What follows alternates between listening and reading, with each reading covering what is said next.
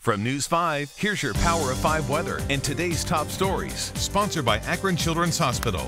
All right, everyone. I am Mark J. Weather on Instagram, Twitter, Snapchat, and TikTok. Tonight, we're cooling down. It's going to be a chilly start to our day, 7 a.m. temps.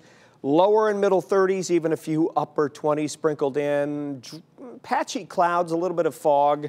Quiet weather. Tomorrow, a little morning fog inland, some isolated rain showers for the afternoon. Warm, cold weather, 40s, that's chilly. I think Thursday we're up to 62.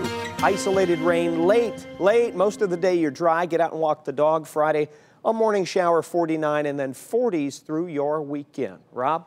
Mark, uh, here's a look at today's top stories. We've learned new information about the three Ohioans who tested positive for coronavirus. University Hospitals confirms all three were sent to the ER at UH Cleveland after being seen by their primary physicians. Infectious disease personnel protected head to toe examined them in pressurized rooms to keep the virus from escaping. Six UH caregivers in close contact with those patients are now in home isolation. The test results on them are pending.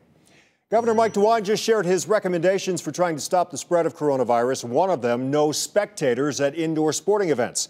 He wants just the athletes and the people essential to the competition there.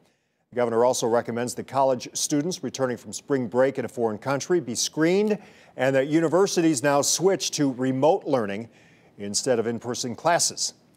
Ohio-based Fifth Third Bank is accused of opening fake accounts for customers to meet sales goals.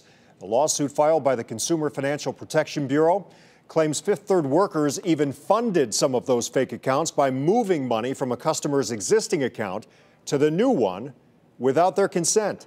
This allegedly happened since at least uh, 2008 through 2016. Fifth Third called the lawsuit unnecessary, saying it already investigated these allegations. For the latest news and weather, go to news5cleveland.com or open the News 5 app. Sponsored by Akron Children's Hospital.